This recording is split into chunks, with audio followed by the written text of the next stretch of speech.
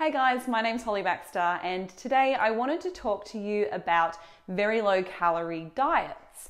Um, I've noticed in the uh, recent weeks with a lot of new clients starting up for the beginning of the year with really good ambitions to lose a lot of weight, uh, that people's expectations about how much weight is realistic uh, seems to be a little bit skewed. And it kind of led me to thinking about um, these very low calorie diets and when it might actually be appropriate uh, to take a very low calorie or to start a very low calorie diet um, and who it might be useful for.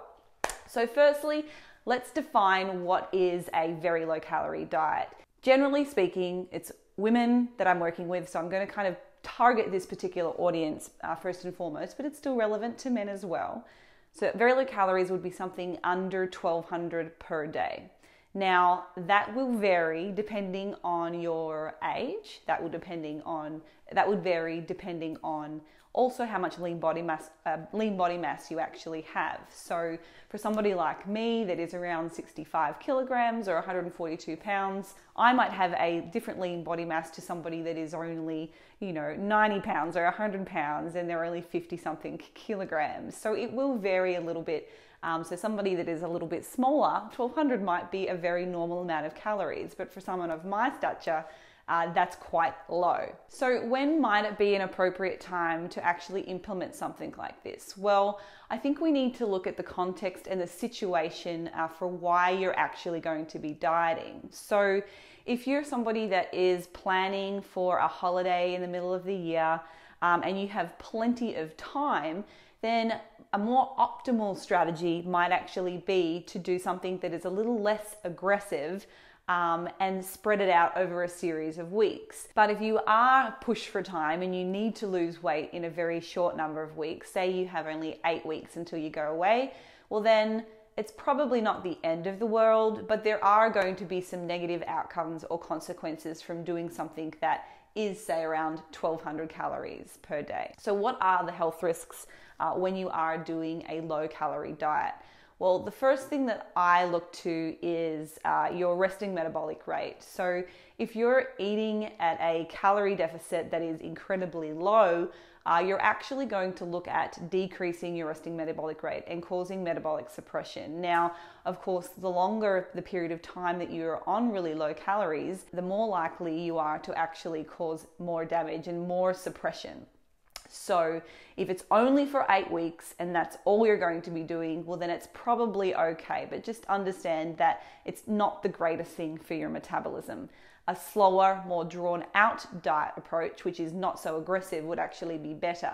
And even better again, taking diet breaks helps to attenuate some of that metabolic suppression. The other thing that springs to mind when I think about very low calorie diets is loss of lean muscle mass. Okay, so this now also depends on your starting weight and your starting body composition because for somebody that is really obese or very overweight uh, versus somebody that is very lean starting a very low calorie diet, the implications are quite different. If we take an obese person or somebody that is overweight and they have a lot of extra body fat, then dropping down to very low calories won't be quite as detrimental as so far as losing lean body mass because they have a lot of fat mass um, that is actually going to prevent them from losing lean body mass during that diet.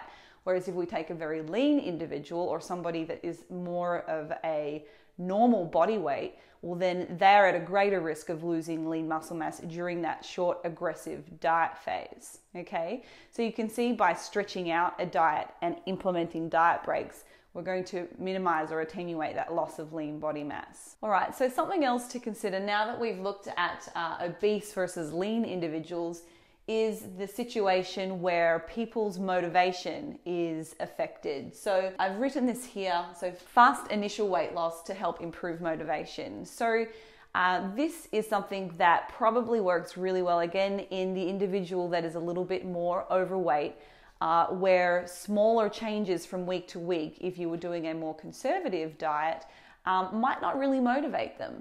They don't see those changes in their body composition because it's such a small amount based on or relative to their total body weight. So, for some people that are a little bit more overweight and have more to lose, well, then maybe this more aggressive style of approach, certainly in the initial stages of dieting, might be better for them. And again, we also know from what I've just said earlier that there is less risk so far as loss of lean body mass in the larger individual with higher body fat than somebody that is lean. But it can still be the same kind of thing for somebody that is a lean individual or even a competitor. If they're seeing really slow, um, small amounts of uh, weight loss each week, it can tend to uh, also decrease their commitment to the program. Perhaps their adherence is uh, flawed and they're not being compliant because they're not seeing enough change.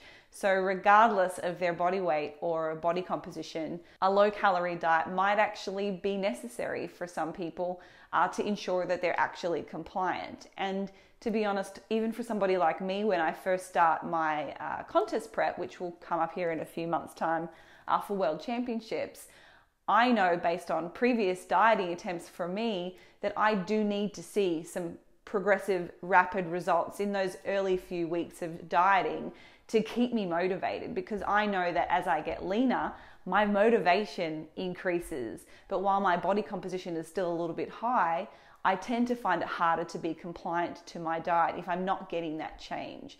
So it's about looking at the individual, working out what is best for them, uh, and perhaps risking or compromising some lean body mass at the expense of just being compliant and getting to their overall weight loss goal maybe that is actually necessary. So I hope that gives you some clarification about when it is okay to actually undertake a very low calorie diet.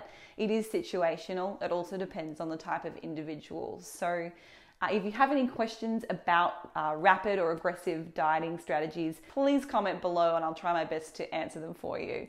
Thanks for watching and have an awesome day.